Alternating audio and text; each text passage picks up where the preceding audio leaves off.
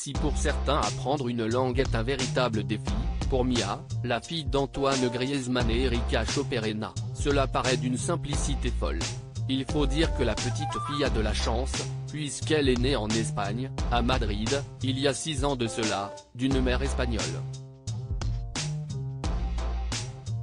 De plus, son père n'est autre qu'un des plus grands footballeurs français en activité. À 31 ans, le milieu de terrain fait bien évidemment partie de la nouvelle liste des Bleus que vient d'annoncer Didier Deschamps ce 16 mars.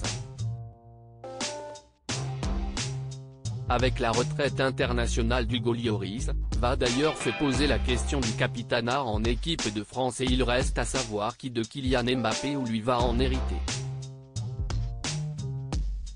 Une question à laquelle devra répondre le sélectionneur, en attendant, Antoine Griezmann coule des jours heureux du côté de Madrid avec sa petite famille. Papa de trois beaux enfants, il est d'ailleurs récemment revenu en France pour assister à un bel événement, l'intronisation de sa statue au musée Grévin.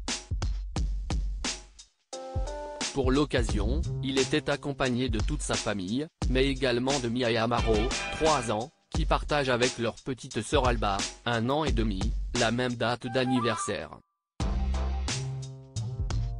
Si Amaro et Alba sont encore petits, Mia est déjà une grande fille qui sait ce qu'elle veut dans la vie. Récemment, Erika Choperena a partagé plusieurs photos de sa petite qui a choisi d'adopter un look de skateuse ces derniers temps. Mia à l'aise en français, espagnol et en anglais. Très proche de ses enfants, la jeune mère de famille aime bien partager des moments de vie avec eux ou les faire participer à ses projets. Depuis quelque temps, la femme d'Antoine Griezmann a lancé sa propre marque de vêtements pour enfants et pour l'une des vidéos, elle a choisi de laisser Mia faire l'interview de deux petites filles. L'occasion de se rendre compte que la fille du footballeur est également très à l'aise en anglais.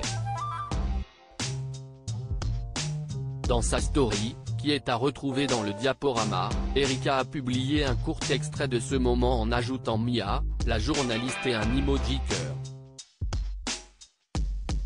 On peut se rendre compte que son accent est impeccable. Sur une deuxième vidéo, elle change sans aucun problème pour l'espagnol, ce que sa mère adore. Une journaliste bavarde, ajoute-t-elle, bluffée de sa petite.